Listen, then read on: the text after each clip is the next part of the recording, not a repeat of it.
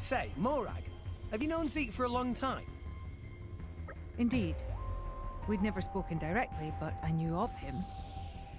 The prince paid a visit to Mor Ardain, did he not?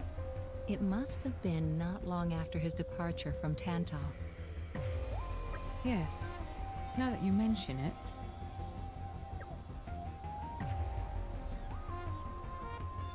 How was he? Back then? Well, let's see. As I recall, the guards reported capturing a suspicious man, dressed all in black, and with a funny accent.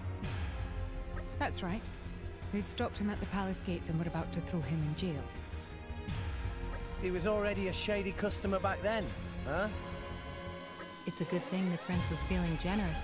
Otherwise, it could have been a major diplomatic incident. Most certainly.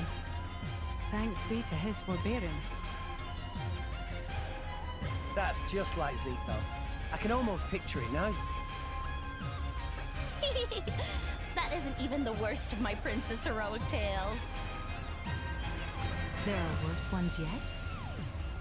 Oh yeah, loads. He's pretty much misfortune on legs.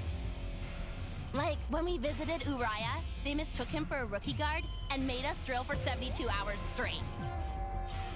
My prince was happy as a clam, said it was a rare chance to see other countries' training regimens. If you ask me, though, it was beyond awful. The grub was worse than Armu kibble, and they didn't even have baths. Calamity indeed. Yet, despite that treatment, he let it pass without creating an uproar. Quite the gracious personage, Zeke. Gracious? I think he was just doing whatever he felt like.